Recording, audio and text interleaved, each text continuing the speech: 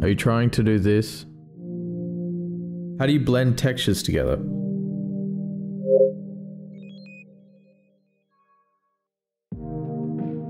Alright, so the first thing you need to know when trying to blend materials is that you need to be using a blend material and not a normal material.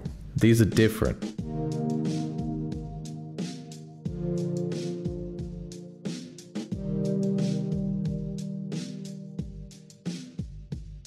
I use this website for my materials because it comes with four essential files that make a texture high quality.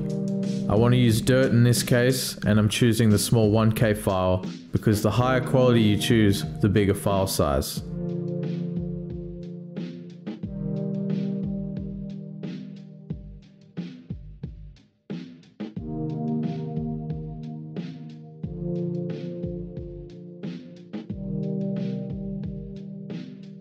These are all my project textures, so I'm going to extract the file we just downloaded into my dirt folder that I just made.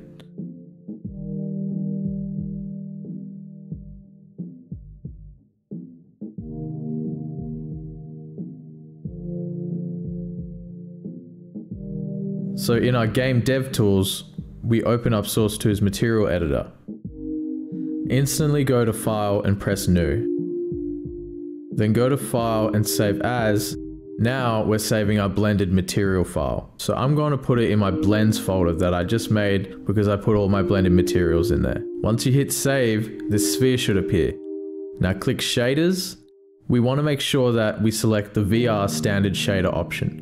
There are many different types of shaders, some simple like 2D, some complex with animations and lots of layers. The standard shader should take the files we downloaded. Press this folder icon under the color section. Navigate to where you extracted those files we just downloaded. Sometimes it will show what you need automatically, but if you don't see it, press the all images option and load the one you need. Now you just do the same with the normal layer by selecting the normal image file that was also downloaded. Remember to make sure all images is selected and you are looking in the right folder. Alright, so if we scroll down on the left here, we'll see this blend section. We want to select two layers because that's what we're doing. I'll just minimize all these tabs so you can see what's going on. Since we selected two layers, it's given us this extra two layers. Now, just like before, we go into layer 1 and just select the other texture we want to be blending into. In my case, I'm going to blend my dirt texture into a sand texture. Repeat the process like we did before, loading the colors with the color files and the normal in the normal files. Notice this new reveal mask section. This controls how two textures we are blending together fade in and out from one another. It's not needed and it's basically for advanced use. We need to make sure this blend normals button is ticked. This basically takes the bumpiness from each texture and merges them together. I want to merge dirt and sand, so it makes sense in my case. Lastly, double check that you've loaded the color file and the normal files from each texture in the appropriate layers. This border section is a bonus section which is used to blend the border between two textures. Use any color, play around with it to make a smoother blend.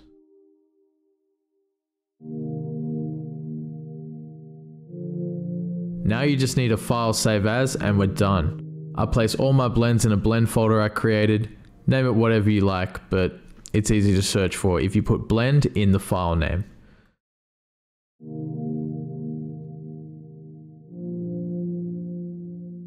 Open up a new instance of Hammer, lay down a fresh ground, and now click Browse. We're going to navigate to our add-ons folder, which I showed you guys in the setup video down in the description. Click only to show only the materials in that add-ons folder, and select the blended material we just created.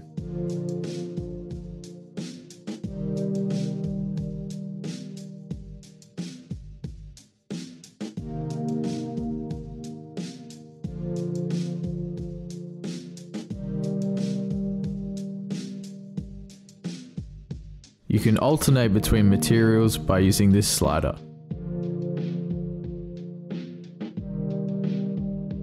When using blend textures, you can change the size and strength of your brush with the middle mouse key.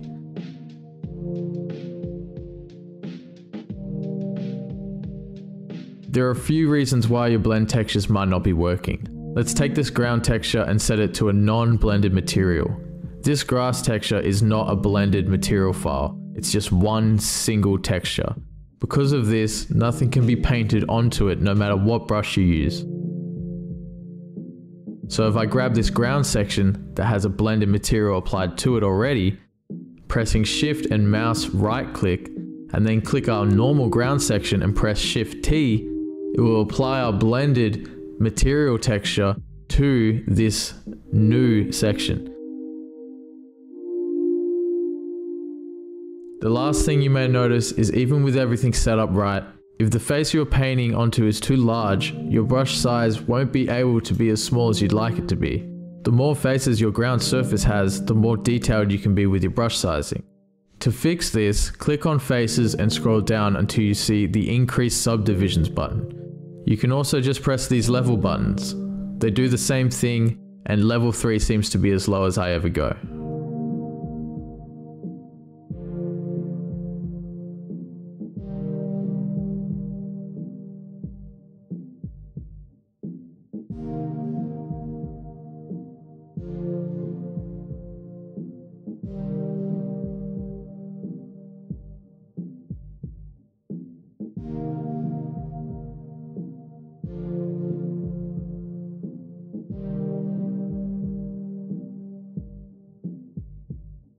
And in case you're wondering, yes, a blended material is bigger file size than a non-blended material.